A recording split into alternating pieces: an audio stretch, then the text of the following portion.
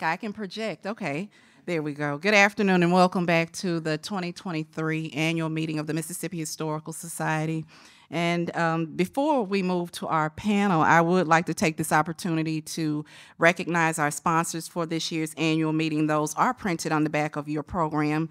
Uh, of course, the Mississippi, Mississippi Department of Archives and History. We must recognize them. The Bank of Anguilla, Dr. Alfredine Harrison, Mr. Elbert Hilliard, who we will see tomorrow at the luncheon, and also myself. So thank you to all of our sponsors for this event. And we are fortunate to start off our first session for this year's meeting and of course, this session is going to feature a wonderful panel of individuals from Jackson State University, and it's entitled Jackson State University and the HBCU History and Culture Access Consortium. And it is going to be moderated by Garrad Lee of the Margaret Walker Center at Jackson State University. So let's please welcome this group.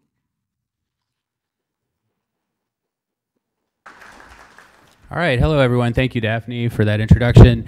All right, so um, we are going to talk about today in kind of a roundtable discussion kind of style uh, the work we're doing with the Smithsonian um, Institute. Um, am I doing that? Is that coming from me? Um, so um, we're going to, first I'm going to kind of introduce who we are and talk about uh, what we do and then introduce the program and then introduce our panelists and then have everyone talk about one specific collection that we've been working on as part of this project. So um, we're from the Margaret Walker Center on the campus of Jackson State University. For those of you who don't know what that is, um, it was founded in 1968 as the Institute for the Study of the History, Life, and Culture of Black People by Margaret Walker. Um, today, we're known as the Margaret Walker Center. We're an archive, museum, Black Studies Institute. Um, and our mission statement, and I'll just kind of read from it, we're dedicated to the preservation, interpretation, and dissemination of African American history and culture for a local and global community of students, scholars, and the supporting public. So basically, we are an archive and museum and Black Studies Institute, and we are here to preserve culture, preserve the history, and get it out there into the public. Now that brings us to the kind of the second thing here, which is the HCAC, the History Culture Access Consortium. This was started back in 2021 by the Smithsonian and the National Museum of African American History and Culture. So what it is, it's a consortium of five HBCUs. Um, so it's us, Clark Atlanta, Florida A&M, Texas Southern, and Tuskegee. And so what we're doing is we're working initially on a five-year project to digitize as much of our archives as we can, create a forward-facing, public-facing website, and also a traveling exhibit that will go all over the country to different museums, as well as um, a, a, whole uh, catalog of our archives and stuff that will be shared with an international audience. So the whole idea here is when you, you think about HBCUs in general and our archives and museum spaces, and we're, you know, a lot of our archives are manuscript collections and oral histories and some artifacts and things like that. Some of these other schools, um, like Clark, for example, are mainly art museums. And so they have art, and uh, Texas Southern has big murals that they're doing on top of oral histories and things like that. So it's a wide array of things. And in, in the world of HBCUs, we often find that our um, resources are somewhat limited compared to other types of schools. And this is a program to inject um, resources into being able to allow us to get our stuff out there to a wider audience. And so we do that in several ways, like we said, the digitization uh, piece of it, um, the traveling exhibit piece of it, but also, and I'll get to this in a minute when I finally introduce everyone, it also creates several jobs um, within this program. So not only my position, the Digital Humanities Program Manager, but also undergrad interns and graduate fellows that we have each semester to create that experience, which is kind of like the next piece of the resources being put in. Because if you want to have a job in public history, you often need degrees and experience and things like that, and it creates that experience. And so we have uh, this whole program, if you take the five schools and the several jobs, we're talking about uh, over the course of five years, 20 well paid jobs a year across the spectrum of these um, universities across these HBCUs. Um, so uh, everyone in that is represented up here, um, and we will uh, definitely, I'll introduce everyone here in a second. So that's who we are. That's the project that we're working on. That's kind of the umbrella or wide view of it. We're going to focus in today on one specific collection out of our archives that we're working on and kind of walk through the process of how we've done that over the last year. So um, I started, uh, we really got the program started in January of last year, um, and it connects to other digitization projects that we've done um, over the years, uh, but we're going to talk about one specific thing when we get there.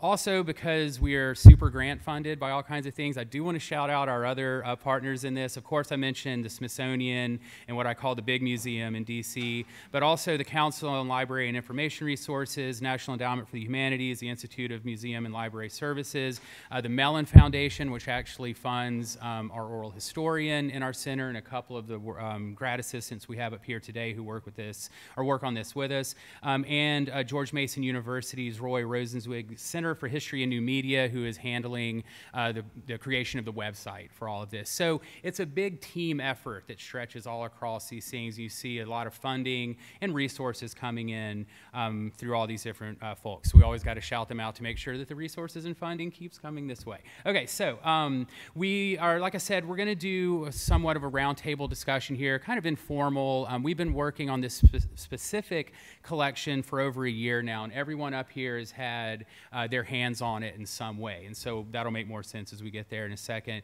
Um, we're going to talk, about well, we'll get to that. So let me go ahead and introduce everyone. So um, right here to my right uh, is Miss Angela Stewart. Uh, she's, yeah, um, she's the archivist um, at the Margaret Walker Center.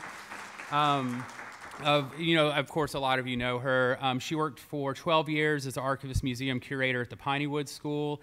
Um, she has her Master's of Arts in Public History from Kent State University and a Bachelor of Arts in History from Alcorn State University. Um, she received additional training from the National Archives and Records Administration in Washington, D.C. Um, at the Modern Archives Institute. And she also served as a summer intern at the National Museum of American History, a Smithsonian institution.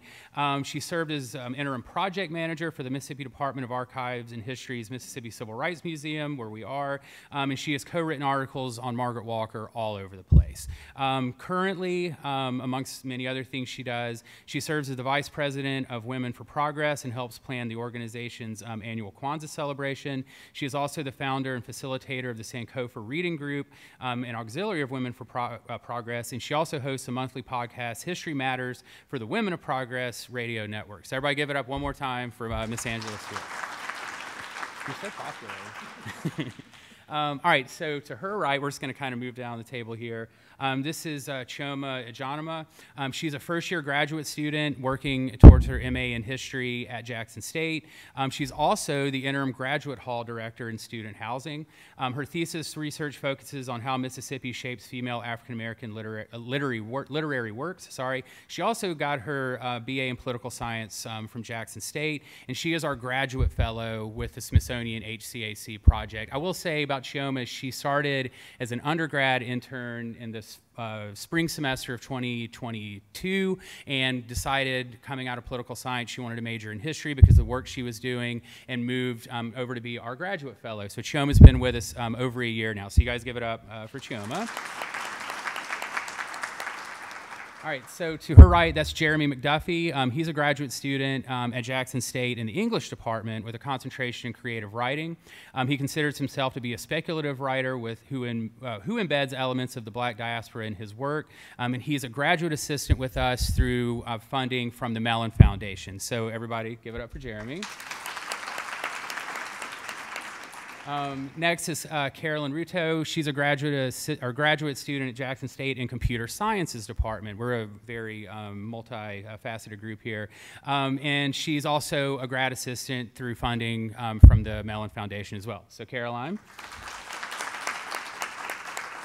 And then Jaylen McDaniels, um, he's an undergrad student in the business department um, at Jackson State, and he is our undergraduate intern as part of the HCAC program. I will say another thing about Jaylen. Jaylen started around, or a little bit after Chioma started, just coming in as an undergrad student doing his service learning hours. And when it was coming time to start a new graduate, our undergraduate intern in the fall, we offered him the position of undergraduate intern, and he accepted. So he's been with us for a minute it um, as well. So everybody give it up for Jaylen. Um, And I'm uh, Garrad Lee. Um, as I said, I'm the Digital Humanities Program Manager at Margaret Walker Center. Um, actually worked as a grad assistant myself at the Margaret Walker Center from 2010 to 11 uh, when I was doing my history uh, master's there. Uh, left to be a college professor for a while, got sick of the bureaucracy, and came back when this position um, opened up. Um, and I will say, for those of you who keep up with the goings on at Jackson State, I am one of the only people and the only person I've ever met who holds degrees from both Jackson State and the University of Colorado at Boulder. So if you've been keeping up with uh, football stuff at all, that might make a little sense to you. So yeah, I did a I'm a BA um, in ethnic studies at the University of Colorado and my master's at Jackson State. So um, that's all of us. All right. So um, what we're going to do, like I said, is talk through a specific collection that we've been working on um, from the very beginnings of the collection coming to us, which Ms. Stewart will talk about, um, and then we will uh, go from there and talk about the work and how we've started from one place and ended it up completely digitized, completely organized, and ready for the public to see, at least in our archives, and soon enough for the public to see um, through our website. So, um, who we're talking about uh, today is a man named William Lamson. Um, he was an architect and a demographer, and he worked on court cases as an expert witness, usually um, through the ACLU and the NAACP. And his collection um, consists of maps and all these court documents. He worked on over 20 cases. So, I'm going to have Ms. Stewart talk um, about the William, William Lamson collection, and then we're going to hone it down a little bit uh, more detailed and talk about the specific sub-collection which within that that we're doing for this project. So I'm hand it off to you, Ms. Stewart. Thank you, Garrad. Um, in 2010, Karen Quay, who was the widow of Bill Lamson, and Bill's daughter, Lee Lamson Quay, donated to the Margaret Walker Center what we now know are over 900 maps and 60 linear feet of information from William Lamson's work as a demographer, a cartographer, an expert witness, and an organizer of factual research for organizations such as the ACLU, the National Association for the Advancement of Colored People, the United States Department of Justice, and other private clients. Now, you have to understand, I'm what's known in archivist circles, and a shout out to my Society of Mississippi Archivist Board members as a lone arranger. So, for a long time, my main concern with the maps was having them safely stored. They're huge and they're, and they're not a one person job. But we did, um, um, my mind is giving me we did process the 60 linear feet of supporting material, which includes documents such as briefs, such as he also did a detailed analysis of population growth and changes in the school district in Topeka, Kansas. And the case we're featuring uh, from his collection is the Topeka, Kansas case. But so after receiving the collection in 2010, with the help of Corey Schneider, who at that time was my graduate assistant, he was actually at the center at the same time as Garrett was as a graduate assistant. We did get the bulk of the papers processed. The maps uh, for a long time were just stored, and it has been an awesome thing. The CLIR grant, the HCAC grant, which has allowed Garrad and these wonderful students as well as Lauren Warren, who's not here, to come through and organize and digitize the maps. And Garrad, was that what you wanted for this part? That was great, of course, yeah. so uh, Ms. Stewart mentioned the Topeka case. And so the Topeka case is also known as Brown versus Board of Education 3. Um, for those of you that don't know, Brown was litigated a couple more times um, after, you know, 1954. So uh, uh, William Lamson worked on that case, and basically, just a little background on the case. It was reopened in 1978 over the issue of open enrollment, um, and it had a, it, and it led to, and, and or the idea was that it had led to and would lead to further segregation in Kansas schools. So Lamson began work on the case in 1982, and in 1989, a three-judge panel found that vestiges of segregation remain in Topeka schools. And in 1994, new elementary schools were opened, and districts were redrawn in 1998 and met that met the court standards for balance in public schools. So the collection of the Topeka collection as she said, I think the final count of the overall collection of Lamson maps was 944. And we're talking the majority of them being like three foot by four feet that he would like use in court cases, that he would literally have um, there, you know, the, the picture of like uh, court shows like banging on the map with a stick or whatever. Um, but there, uh, most of them are where he's ooh, where he's colored in neighborhoods or put uh, stickies to you know show uh, neighborhood changes over the course of decades or whatever. Um, the Topeka, it's the case itself is 113 maps, and I only know this since we digitized it all, and I could actually do a page count. 12,135 pages of court documents, and as Ms. Stewart mentioned, uh, that's big, thick folders full of briefs, reports, but also handwritten stuff of Lamson. So think in the early 90s when he started this we're talking like handwritten spreadsheets like on yellow legal pads and stuff. So the way that we digitize these things is with the maps we used a third party. Um, part of our CLIR grant uh, money that's through the hcac allowed us some funds to outsource some of that.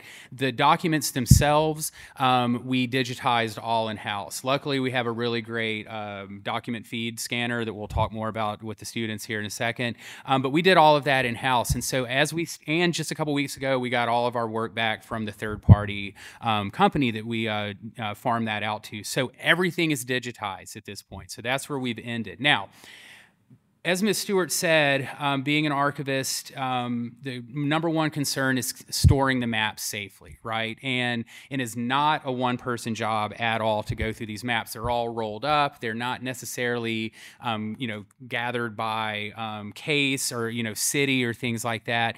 So um, the first person to work on those maps uh, was Chioma, um, who at the time was our undergrad intern, and there was another undergrad intern with her named uh, Lauren Warren who graduated graduated and went on somewhere else um, when she finished with us at Jackson State.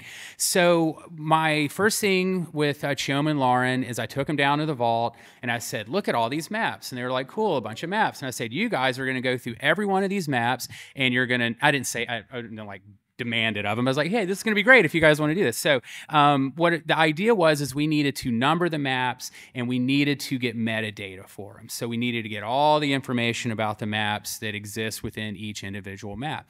So um, I'm going to kick it off to Chioma right now um, to tell you about where we started with just a pile full of rolled up maps that weren't really documented anywhere. Chioma, you want to talk a little bit about that? Yes, um, it's really just like Dr. Lee said. There are a pile of maps um, in the vault, and it's really not a one person job because the maps are as big as one of these tables and they're really in fragile condition.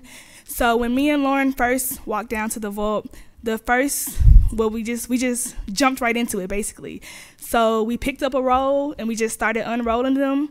And the equipment we had was a tape measure pencil and then you know some books to hold down the map so they wouldn't roll back up because they've been rolled up for years. So um and with doing that we unrolled the maps um we collected the metadata and that was basically we had an excel spreadsheet with all the information that we wanted to collect such as the condition of the maps, if they were um, in fair or fragile condition, most of them are pretty fragile because they're these paper thin maps that's been rolled up. So, you know, um, even with just unrolling them, and as Garrad said, they have sticky notes, um, cutouts. So, with that, it makes the condition a bit more fragile. So, being very careful with this and as as was stated, I come from a political science background, so I was really scared touching these maps. I didn't want to mess anything up, but we got through over 900 maps. Um, we would roll them out, get the tape measurer, we would get the length and by width. We would put that in the um, Excel spreadsheet.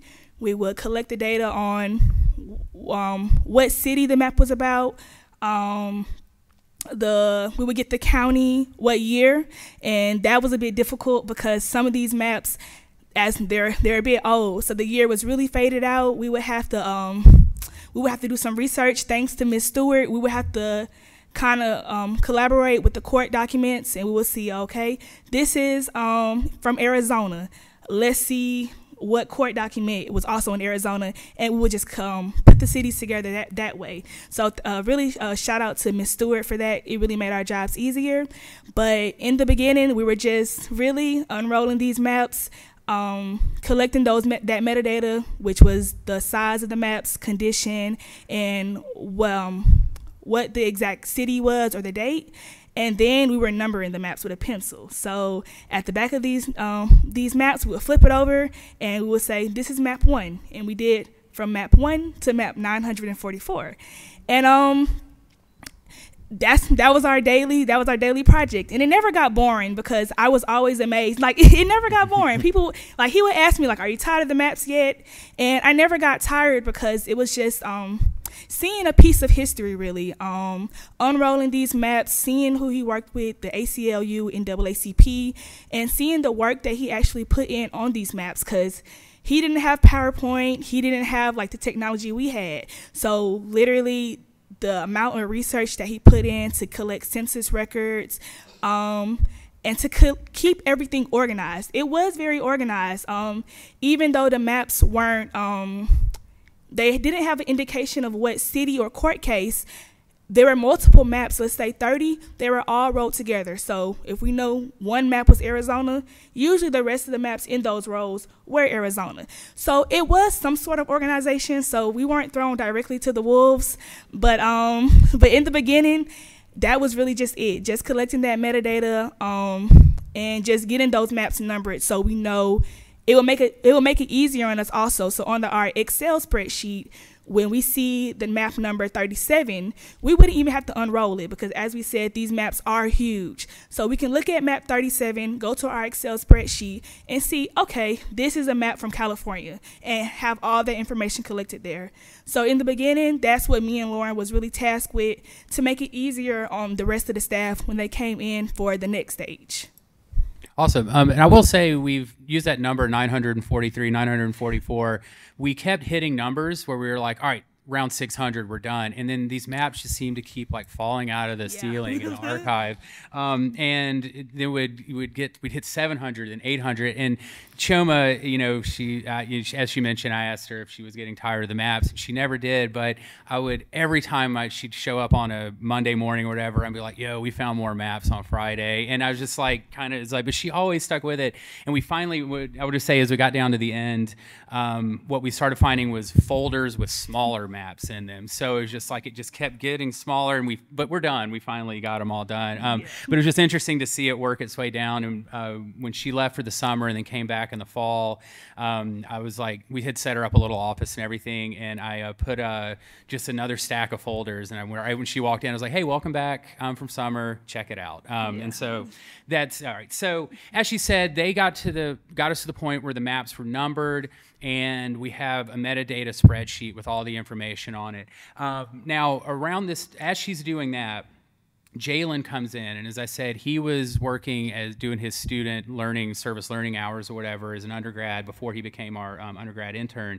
Um, and so he came in, and I had another task for him because not only was this not a one person job, this was not a one like function job either. So it wasn't as easy as just numbering the maps, getting them on the spreadsheet, and being done with it. We had to continually cross check things and cross reference things to make sure that when we got to the final place we wanted to be at, that they were completely um, organized. So Jaylen kind of comes in next, and Jaylen and uh, then Chioma and Jeremy were working together. So um, Jaylen, uh, tell them a little bit about what you did when you when you came in first with the maps. Uh, thank you. Uh, briefly, as he said, I came in around spring 22. And my immediate job as I came in, well, it wasn't really a job, it was community service. So I came there to get community service hours, and immediately I was taken to the vault. Sounds so ominous. uh, but once I got there, I see about four giant boxes filled with these giant rolls of maps with their numbers. And he takes me, he shows me the Excel spreadsheet, and my job was basically cross reference the maps and the data to make sure they lined up, to make sure that all the organization was correct. And I say out of those, what, 944, I only wrote about 10 errors, hmm. probably. So it was really good work being done. And as Chioma said, as I did the work, it really became apparent to me the importance of the work that I was doing from a level of the history being there and also a level of the history being preserved. So that always stuck out to me and it always enriched the experience for me. So I say I was in the, the center for about three days a week uh, during mm. the spring, and I continued during the summer as well because the work was just so filling to me and it was work that I hadn't done before. And I also wasn't expecting to get that much of an experience out of it.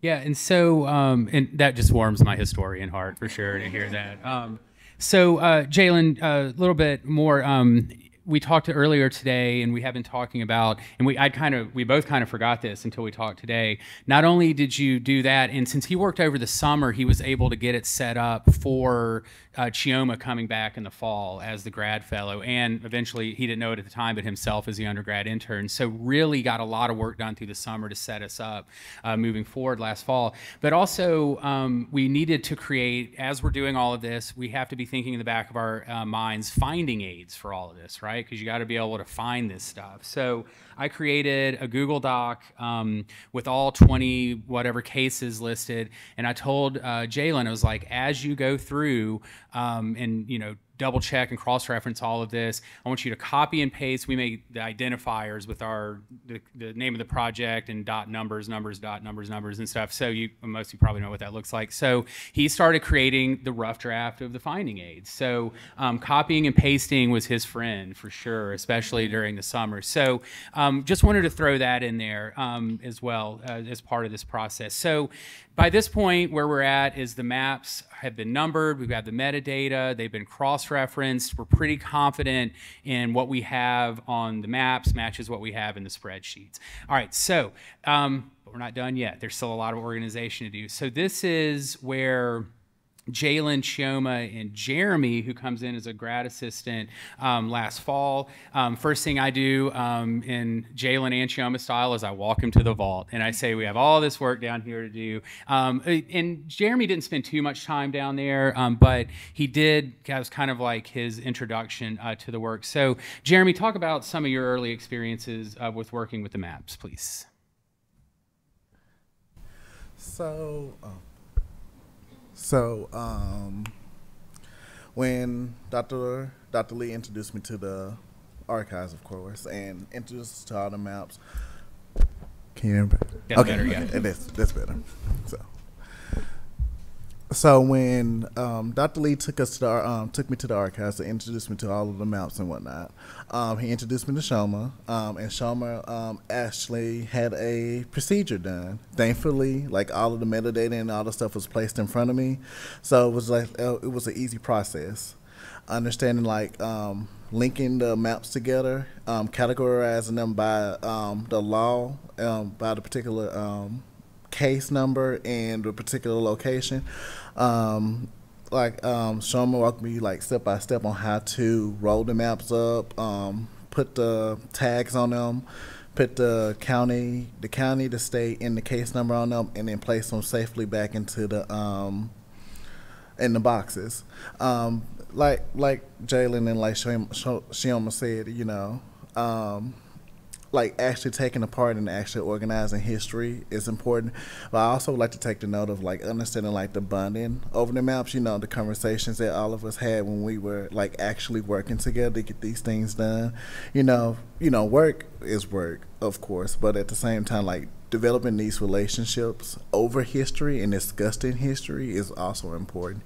Like understanding there were multiple like intersections of like Brown versus education, which was also interesting to me as a writer because I take part in like trying to write history for people to understand history. So like rolling them out, putting them in there, we got that completed within about I think about like two about two three weeks um, when I started working there, and that's about it. Jay, uh, Chioma, go ahead. Yeah.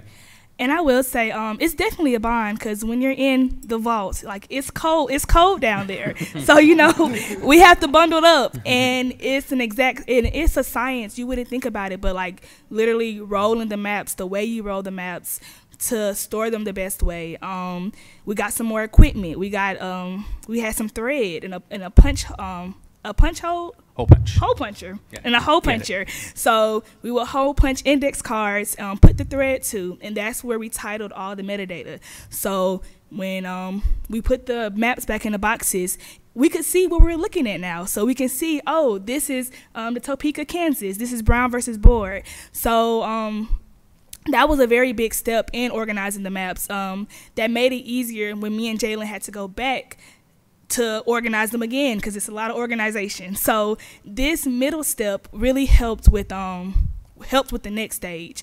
Um, it may have seemed and it may seem repetitive, like we had we had to keep going back, keep cross checking. But when you have 944 maps, you want to make make sure everything is right.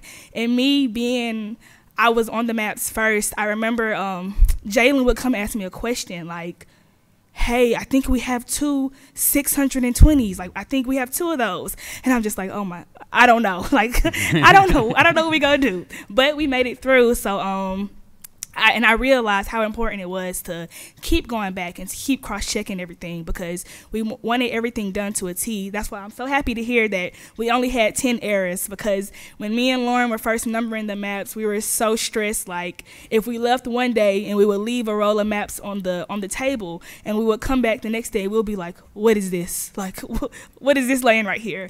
But that's why I'm so happy to hear that there wasn't that many errors when we, when we first did the work. Yeah, so at this point where they're up to now, and Chioma referenced the the thread or the twine or whatever, um, we were able to finally get the maps kind of organized. So we're able to get them by case, and we're trying to figure out what's the best way to store these things, right? Because we the flat storage stuff is like really expensive, and we had our eyes on blueprint boxes, um, but we had some funding that we could get that, and it was taking a while for the funding to come in. They keep talking about the boxes they were in; they were just big square boxes that just had rolls of maps in and We we kind of step up our box game here in a minute. We'll get to that in just a second. But these uh, they're just in these boxes. We get them wrapped, um, we get them rolled up, and then get them with the index cards by case. And so we now we have the case written on the index card and the number of the maps that line up with the numbers on the back of the maps, that line up with the spreadsheet, that are starting to line up with this draft after draft of finding aids um, that we're working on. So at this point. Um, once Jeremy and Jaylen and Carolyne are working together, um, I'm sorry, Jeremy uh, and Jaylen and Chioma are working together, we're kind of nearing the end. But at the same time, I keep finding more maps. Um, we will find a discrepancy here and there. Um, and as we've said, just, you know, maybe 10 or a dozen or so. Um, so that work is happening. Now at the same time let's add another layer here. We have the documents to worry about. So i had been in the vault and i had seen the documents. Um, it was at 60 linear feet correct? Yeah so that's a lot of linear feet. And so that's for the entire collection. And i had kind of gone through the finding aid and we pulled what ended up being five um, what's the measurement on the the big boxes? Um, but you know let's a box like this right? Um, so they're page card and boxes. But yeah, yeah, there you go. Yeah. Mm-hmm. So five of those. And so now we have the daunting task of doing that. So that's when I get Jaylen, I pull him upstairs. Uh, we have a workroom set up right across from my office that has our computers and scanners and everything like that in there. So I bring Jaylen in and I say, let's start scanning this stuff. Now, we got um, a lot of equipment from the Smithsonian, um, scanners and all this different stuff we needed, but it was kind of slow trickling in. So when we first started scanning over the summer, I started scanning the handwritten Lamson documents on a flatbed, uh, page by page. And the process we go by um, for digitization is you do, um, you want two files. You want a high def TIFF file and a little bit lower def JPEG file. The TIFF for your archive, the JPEG um, for the website or whatever. So um, scanning these, you know, page by page, the handwritten ones, and I'm like, well, I don't know if we really want to do what ends up being, like I said, over 12,000 pages of documents on flatbed scanners. Um, but I kind of started working on it over the summer before they came back. But before the end of the summer, we got our document feeder scanner in, and that was a super duper game changer there. Now we only have now we have two. Right, I think it was like three days after we finished doing this part of the project, we got a second one in, like when our next shipment of stuff came in. Um, so we have one in a box right now, which we'll need when we do these other uh, however many linear feet of stuff. Um, but uh, for a, a, minute there, I had um, uh, Jaylen and Carolyne working on scanning. Now, Carolyne had come in, and his Carolyne's been kind of our um, utility player here. Right now, she's transcri- transcribing oral histories that have been digitized, which she is just killing it at. Um, we got a 3D scanner. I put her on that for a couple weeks, and she's our computer person. She got to play around with that. But at first, I was like, we need you to scan. So I have Jaylen scanning on the document feeder scanner. Carolyne starts on the flatbed scanner. So So, Carolyne, uh, tell them what you thought about working with that single page scanner, because I remember you not being very happy about um, having to do that with the amount of documents that I had put in front of you. All right, can you hear me? Yeah. So I came in and um, they got two scanners. One of them is really slow, and they gave me that one. And I figured uh, that's just because Jaylen had more experience with scanning. I keep telling him to like put him put it in his resume because twelve thousand uh, pages that's a lot. But uh, so I was scanning and I have to do these pages uh, twice, both um, JPEG and TIFF, and TIFF kind of um, take a lot of time. So um, I remember Chioma walking in on me, and she was like, um, "If it helps, you could just like watch movies while doing it." and that with that, I was happy with. So I I ended up uh, taking my time, but um, I'm glad that they have a new uh, scanner in now.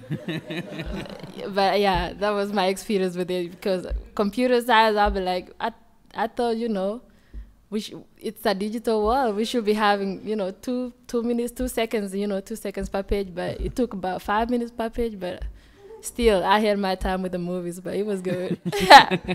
yeah, she um, and like I said, we've definitely found more technological stuff for her to do. She was able to. I'll just brag on her a little bit.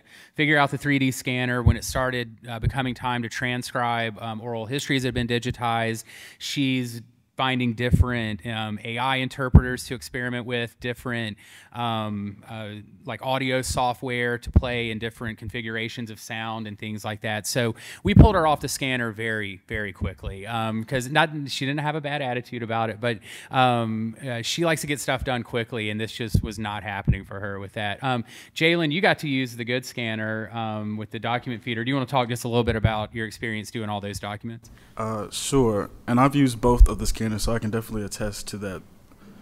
The slower one is definitely slower. So, uh, but yes, we have to do, and we're scanning these things more than once, right? We're doing a JPEG and a TIFF. So the, the JPEG is going to take considerably less time. But if you're using the slower scanner, it's going to take considerably more time for the longer for the longer version.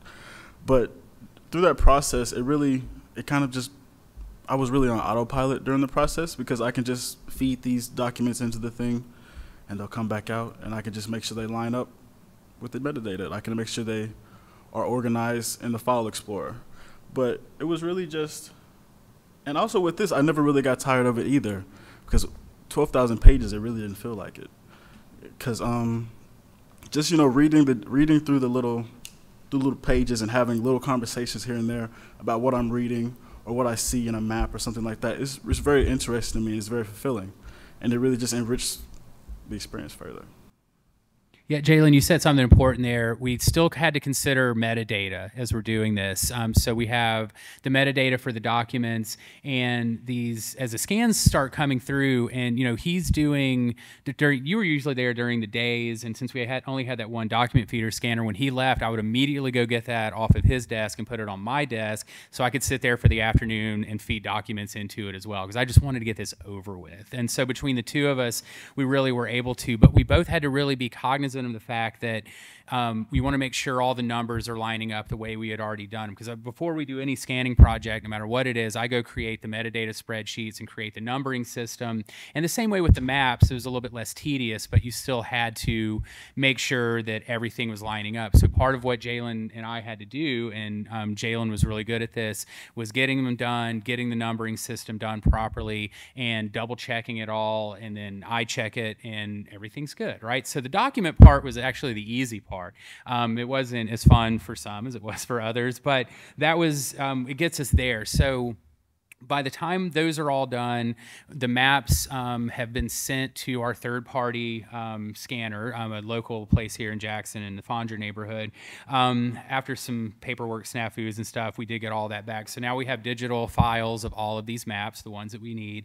Um, but that leaves the last step here in the final organization, putting away of these maps and being done with them for a while. And so that's where uh, Jaylen and Chioma really worked together. Chioma, when she came in, um, I guess in the fall, we she worked on the maps a lot. We were trying to finish those up, and then our oral historian Elisa Ray, I'm right here, give it up. Um, so she did uh, some great workshops with the students about transcribing oral histories. So we start moving people around. We got people transcribing oral histories, uh, people working on maps, people working on metadata and stuff like that. So by the very end, it comes to the, the very end, and Chioma being the graduate fellow, and my intentions to really help foster her as a leader and as a manager in her work um, is kind of you know overlooking all of this work. So she's kind of head of the map situation. She's audit, um, audit editing the transcriptions before they go to Elisa Ray for final editing and approval. Um, so she's juggling a lot, but it comes down to the end of the maps, and I thought it would be apropos for her and Jaylen to finish the maps together since they had worked on them. So uh, since the beginning. So uh, I guess uh, Chioma, we'll start with you. Um, just talk about that final push, and you know, thinking about the the good boxes that we got in, and also the the last of the finding aids that you guys created out of that. Okay, so they put me back on the box, um, back on the maps, um, but it was kind of a bittersweet ending because I knew this was the last really last step with getting them organized. So we had the blueprint boxes, and me and Jaylen and Dr. Lee helped also with this. Um, we had to figure out how to put them together because they came like they, it was like an IKEA box. They we couldn't find the instructions, but we eventually got it together. um, we put the boxes together. They were just um like a blueprint box. If you guys know, um, they had little slots for the maps. So really, me and Jaylen, they were really big because the maps are big. So me and Jaylen were kind of struggling putting it together. It's really a two person like everything with the maps is a two person job. Even putting the boxes together. Even yeah. putting the boxes together. So me and Jaylen would go down, put the boxes together, and then we would just. And this was a really simple part because the maps were pretty much all the team effort. They were pretty much organized and they were already rolled up. So after we created the boxes, we would just put the maps in the slots. Now with the finding aid um, that I created, we wanted to make sure that we have these boxes. They were numbered like A1 through A3. We wanted to make sure someone could come in and just look at this finding aid and see A1, this is where Brown versus Board maps are. So that's basically what I did. Um, so as I was putting the maps into the slots, I had to make sure I was also going to the finding aid and putting in where to actually find these maps. Um, and that was the end. That was it was it was um really easy and it was kind of bittersweet because I was just like after all I've been working on the map since January. And I think we we finished with the maps completely uh last month. Well it's only the first of March. Well second of March. So we just finished with the maps. But um it was it was really easy for the last step um to get those organized. But it was also good to see um because coming in last January the maps were just, as we said, in boxes, unorganized. You couldn't tell what's what. And now going into the vault, I can see them neatly to the side in these blueprint boxes. And if I needed to go, because the maps are amazing, and I like I like to go look at them from time to time. So if I need to go look at a certain map, I know where the map is. So that's how we ended our Lamson map journey.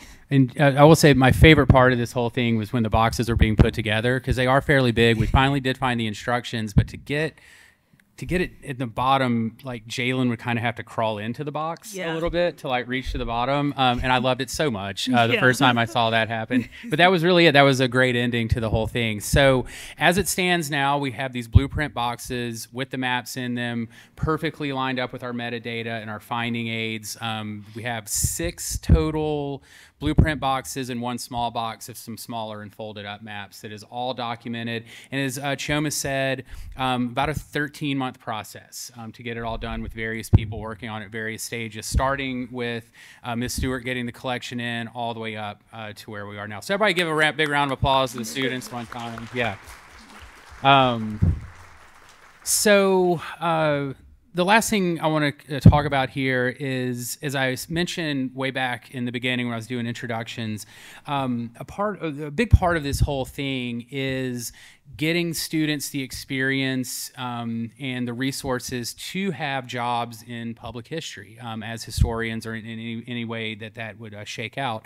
Um, and as you've heard today, we have four students who are not only, um, you know, really good at the work that they do, but from a wide array of backgrounds, a wide array of majors and things like that, but also who have each shown a passion for this public history work, right? Like they found something in it um, that they like. So um, that's not just from working with these maps. We wanted to hone it in. Um, as you know, I'll mention now, we are working on uh, I think six or seven different collections to digitize overall for this big project that we're doing. Several sets of oral histories everything from scanning transcripts of old collections to digitizing uh, what we can digitize from old cassette tapes and transcribing that, um, document collections, a few artifacts and things like that. So we've all been doing all of this on top of just these maps as well. And at this point, we are completely digitized for what we owe the Smithsonian, um, and we're just working on the final pieces of getting all that ready uh, to send off to them, which doesn't end our work. It just kind of starts uh, the next phase of it. But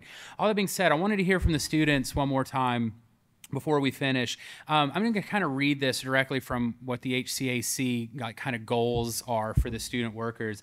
Um, it says their experiences will demonstrate the ways that the HCAC is creating pathways to careers in public history for students at HBCUs from diverse academic backgrounds. I think you've already heard that today, probably, right? I'm um, just from the, the, discussion or whatever. But I did want to go down the line and just let um, each student kind of talk about their overall general experience with this. Um, um, and more so, you know, not necessarily uh, we're putting them on the spot and say they have to be historians now, but anything that they could you that you guys have like learned from this work that you can apply to what you're doing, or if you do want to become a historian and be cool like the rest of us. Um, so, uh, Chioma, we'll start with you, and you guys go on down the line and talk a little bit about that, if you would. Um, I think my journey has been very telling, as was said earlier. I was a political science um, undergrad major, planning to go to planning to go to law school right after um, I graduated.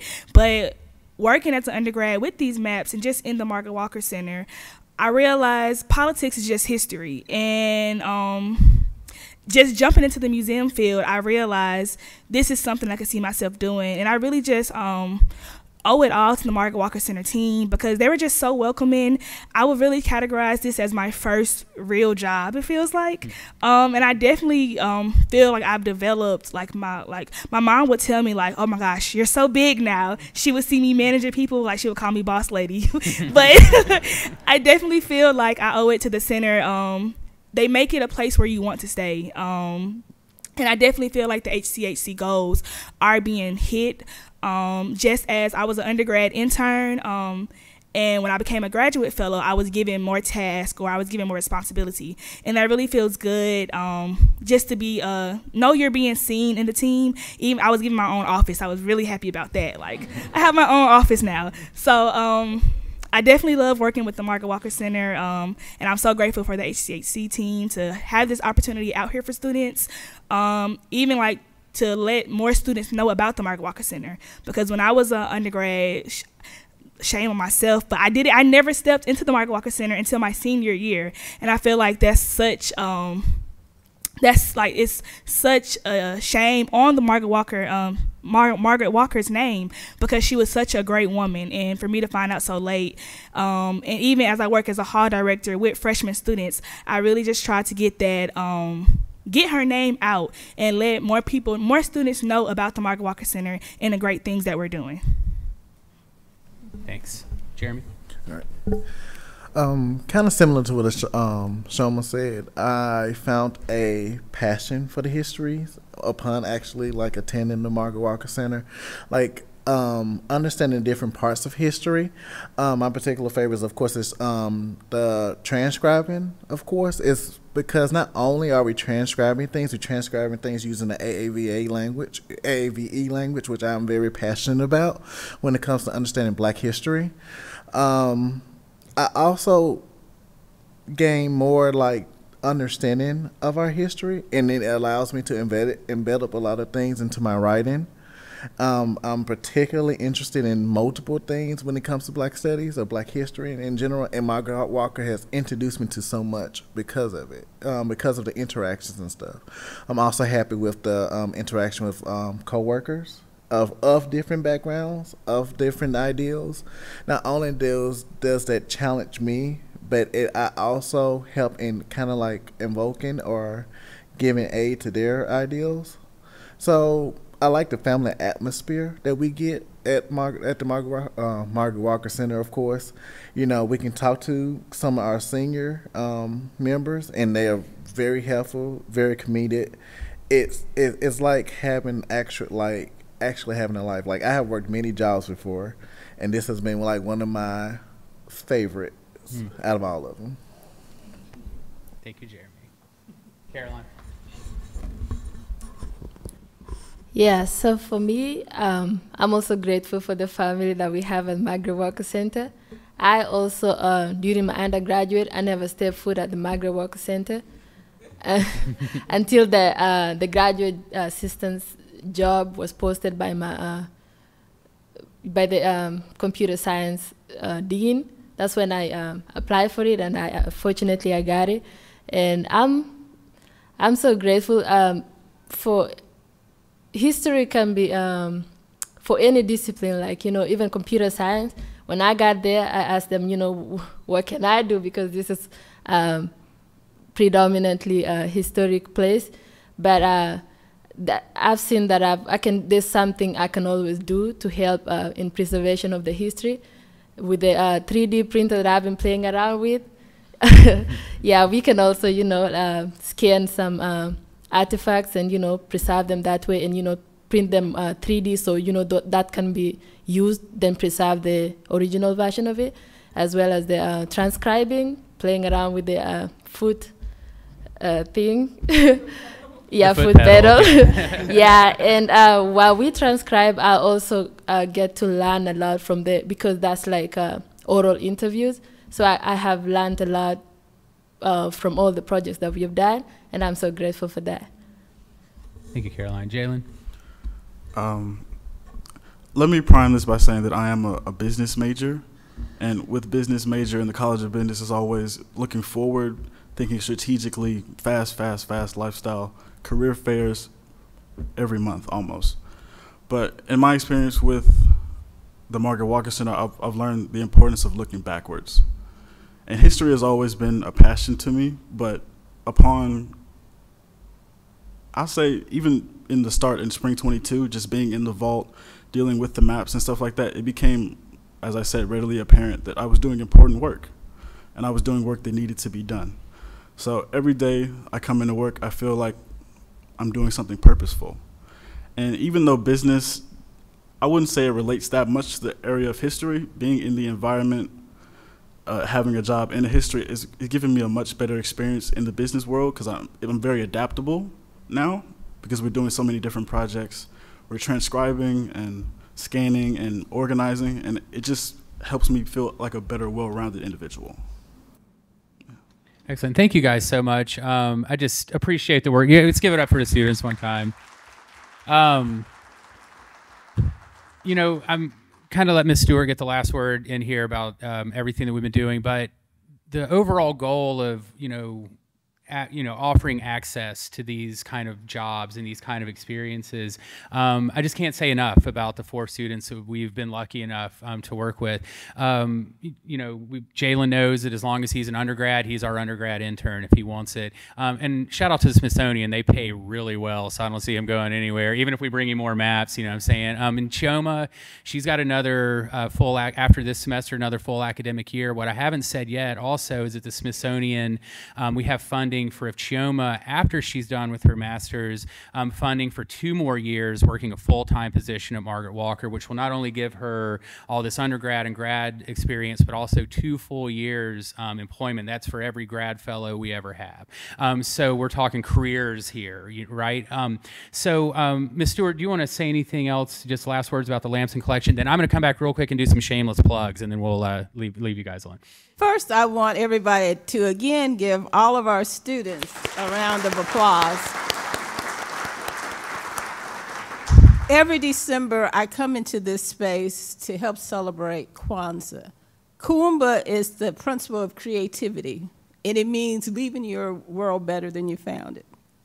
And these people, they have definitely done that. They have left the Margaret Walker Center much better than they found it, especially in terms of the map collection. Also, I want to say that I had the opportunity to talk to Jaylen's dad, and he was so appreciative because he said, You all have brought so much out of Jaylen. We already knew he had all these gifts, but the way you all have brought this out. So it made me feel good to hear a parent who's not there every day seeing, saying he sees something in his son that has come out of working at the Margaret Walker Center. So um, that just made my heart feel good. In the, the Lamson collection, I've actually had the opportunity to share with a researcher from the documents. She was looking for a document, couldn't find it anywhere else, and she said, the only place I've seen that has it is the Margaret Walker Center. And we did, and I was able to scan it and get it to her. I could do that with the documents. Now, if anybody wants to come through the maps, we have that same capacity to do that with the maps. So yes, we're entirely grateful for that. I also though want to, our staff is here and I want to point out our oral historian. It's been mentioned about transcriptions and Elisa Ray Funderburk is our Mellon Foundation sponsored oral historian. Patrice Jones, who makes everything run at the Margaret Walker Center. She's our administrative assistant and building administrator, but really, she's the wind beneath our wings. she makes sure we have what we need to yeah. get everything up. And then Christina Thomas just started this week as our Mellon Scholar, already jumping in, helping out with projects and she's going to be a wonderful addition to us for the next two and a half years. So, yeah. and I also want to mention our director who's not here. He's in Washington, D.C., Dr. Robert Luckett, because um, a lot of this was the, his vision of what we needed to be doing going forward at the Margaret Walker Center. Yeah, when I was a grad assistant there, 2010 and 11, um, it, the staff was Miss Stewart, Dr. Luckett, and an administrative assistant, a bunch of like a ragtag group of graduate assistants. But we were able to, we had grants um, and funding from the Ford Foundation and NEH to do Margaret Walker's personal papers, of which we did thousands of pages of and have a full digital collection of that that is finished. And let me give you an example.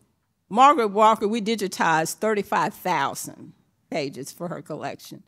In the Lamson collection alone, how many pages? Topeka is just 12,000. Just so, Topeka is 12,000.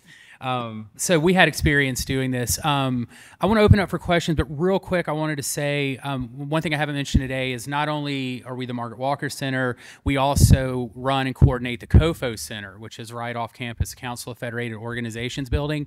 That is on um, you guys' schedule for tomorrow for tour time.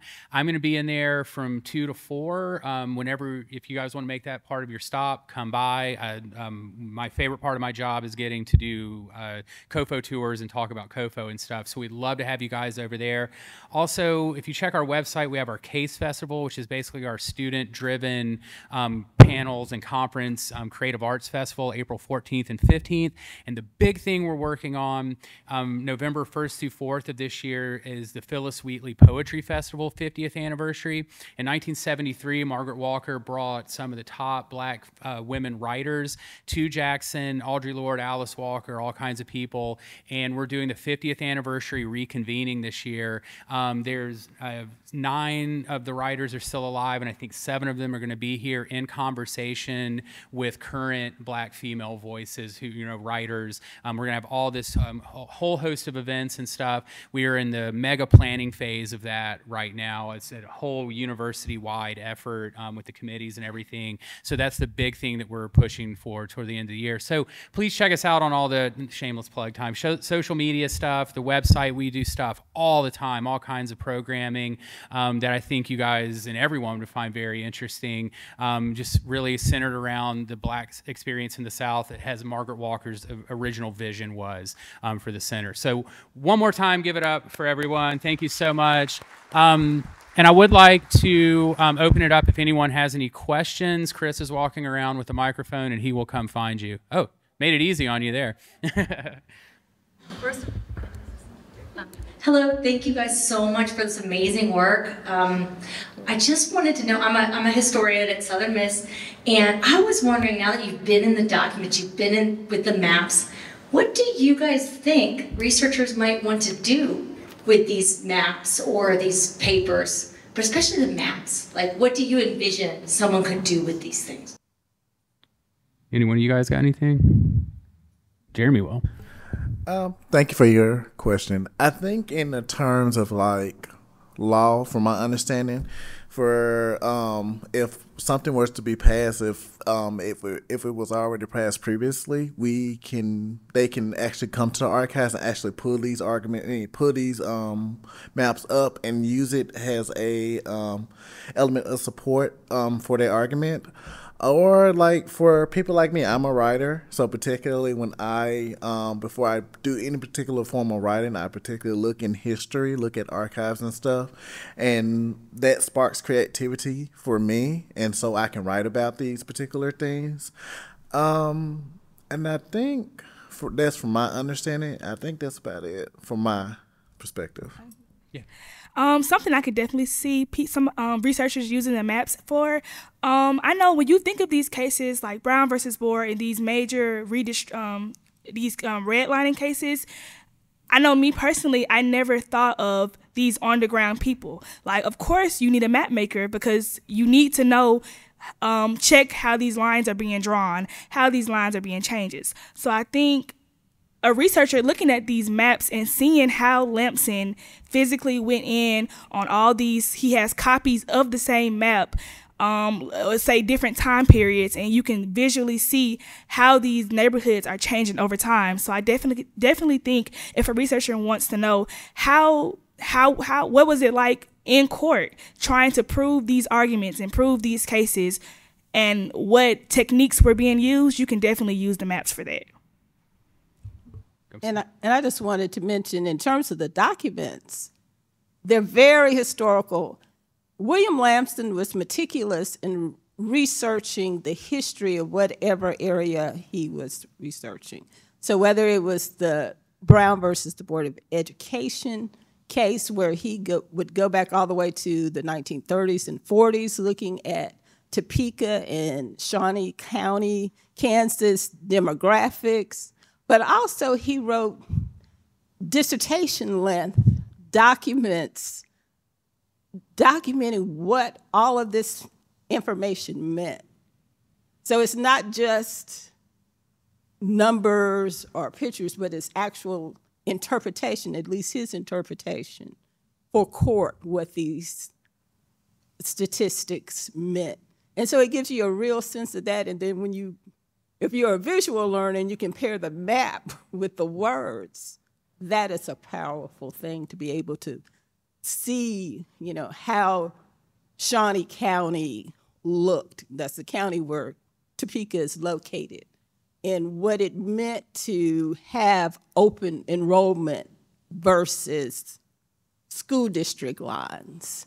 And extrapolate that to other schools and who are having issues with desegregation because he not only did desegregation in terms of cases such as Brown, he also worked in Michigan, his home state, but he also worked for the Department of Justice in federal decree cases.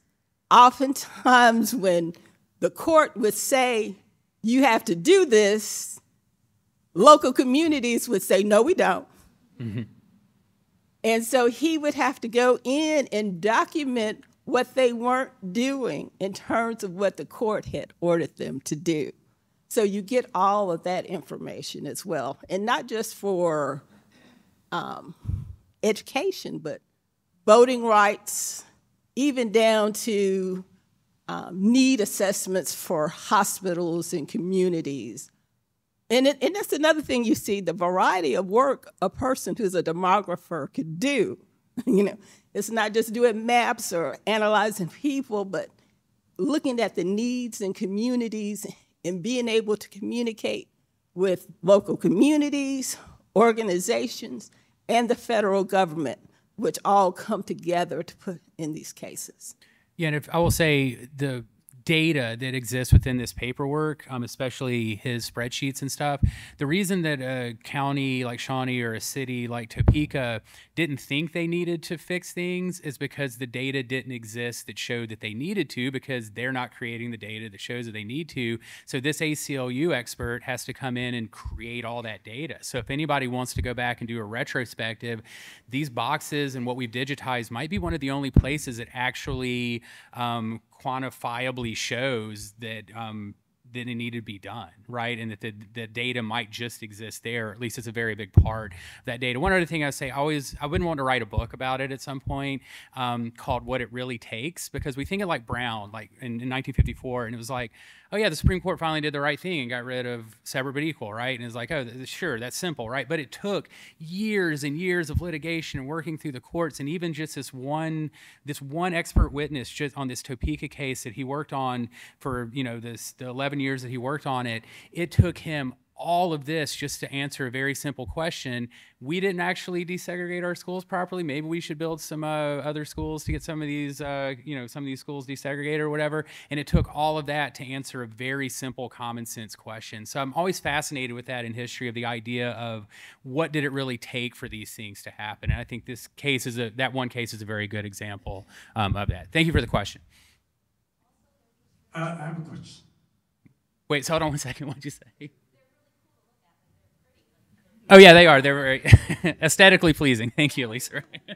Yeah. I have a question. Um, can you tell from the maps of what cases they were used in and if any notable such as Thurgood Marshall or Constance Baker Motley or any others that used the information and what maybe what judges used them for their opinions? Okay, for example, with the Topeka case, he's actually working on Brown 3. So by 79, 82, um, Thurgood Marshall is no longer um, doing that. So what he's looking at is with the ACLU and the leadership of the ACLU and the leadership of Topeka, Kansas, because the argument is that children should be able to go to school wherever parents want to send them to school. That's the idea behind open enrollment.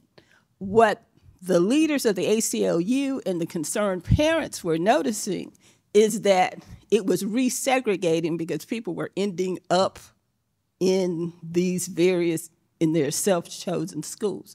But yeah, with certain cases, you know from the case law who actually used the information. You know from his notes because he had to produce memos and he had to submit travel vouchers and um, documentation to whoever was lead on the case.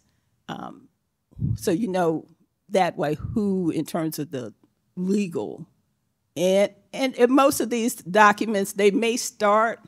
Most of his work was in the federal system, so they may start in the district court. Some of the cases went all the way to the Supreme Court. So you see that pathway from you know the district level all the way to the United States Supreme Court.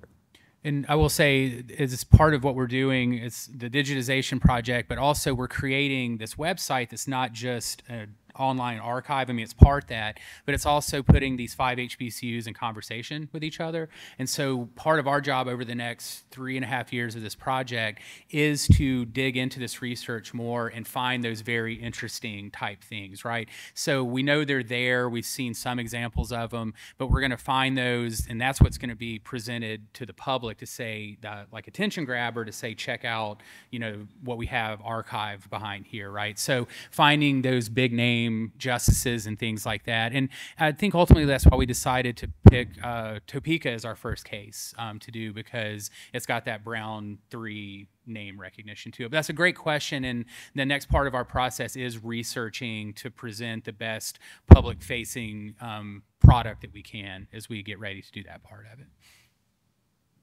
Well, you just answered part of my question, which was whether or not you're going to develop a website make all of this accessible. But I'm also wondering with the Smithsonian connection, will the images and the documents themselves be available through the Smithsonian website as well?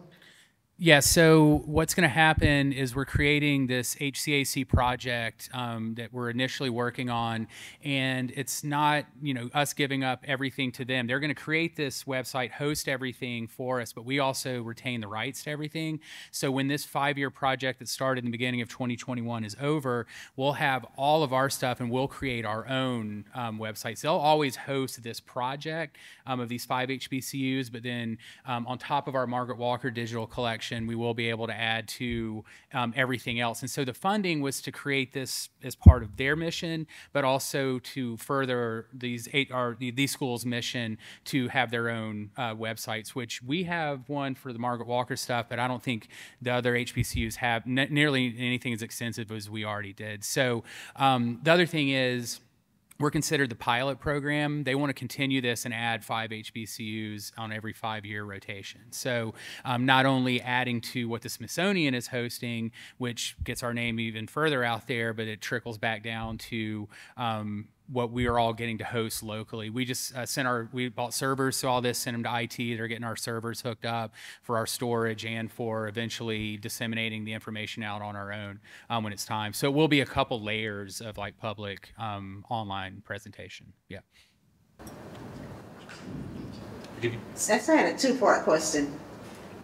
So how did you all get the project, the, the William Lansing material? And then the second question is, did you find maps that are Mississippi related? You want to do that? Yes, there are. He worked on a case in Hattiesburg. He worked on cases in Jackson, Mississippi. So yes, there are Mississippi. But that, but to me, the bigger thing I learned is that desegregation is not just a Southern thing. He worked on cases in Las Vegas, Clark County. He worked on cases in San Francisco. He worked on cases in Boston dealing with desegregation. So you quickly learned that it's not even just a Southern. But yes, there are cases that deal with um, because even though Brown said desegregation in 54, and then you had all deliberate speed in 55, most public schools weren't desegregated to 1970. And then there are some districts that were able to put that off until the 1990s, 2000s. So, so you know, place because of the way they geographically gerrymandered African Americans out of the city limits. So technically, if they don't live in the city, you're not, you know, you're not segregated. You, they just don't live in the city. So, and that's why these cases keep coming up because you, they realize that people were doing a lot of in rounds around. So whether it's in Mississippi in Hattiesburg or in Jackson or it's out in Las Vegas or in Maricopa County in Arizona, you know, there, there are, you find out there are a lot of places that have similar issues to what people usually just characterize as being Southern issues. But um, and as far as Mississippi maps, I will say um, the majority of what we do have, uh, Jackson stuff and Vicksburg stuff, um, dealing with what you were talking about earlier, um, hospital things. So like community needs things for like uh, areas that need um, hospitals and that don't have hospitals or whatever. So um, a lot of those kind of community needs based kind of things that was going on um, in Mississippi at the time. Um, maybe one time for one more, um, and we'll give it to our oral historian. oh, oh, oh. You, oh, you asked about how did we acquire the Lamson stuff initially, Miss Stewart? You... Yeah, from Lee Lamson Quay, his daughter, and um, his widow Karen Quay is who we re- who we received the material from. Mm-hmm. Yeah, he donated directly to the center. He did. He didn't. He was did. deceased. Yeah, he was deceased, but they did. As yeah. his survivors, Yeah, they survivors donated did. it to the center. So the actual rights fall with Jack Taylor, or with the Smithsonian? Oh, that's they us. fall with yeah. us. Yeah, we didn't have to give up Ka- any rights to Karen them. and Lee signed a contract of donation with the Margaret Walker Center. Yeah. Hi, so I have a question for the students. Um, I'm curious if working with these historical documents has had any impact on the way you think about politics today. Just like Ms. Stewart said, desegregation is a long-standing issue. So do you, it change the way you think or impact anything you're seeing in, in the world now? Um, Yes, definitely. I can attest to that because, as I said before, I I like I like history, but I always wasn't in the the feeling of looking back all the time. But as you look back, it's easier to look forward too. So as I look back, I can see the trends, or maybe I can see you know something new that's that looks like the old, and it it helps me to, I guess, live smarter and know more about things that are happening as I live. So yeah, that's what I can say.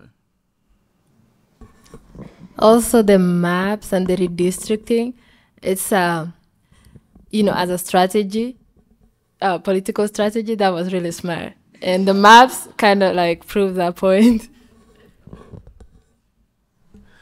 So for me, um, has a English major. Um, you know, of course, English and history go a long way, and from like understanding these particular things, we um these particular um, things of inhuman um, actions, we can connect them to the present.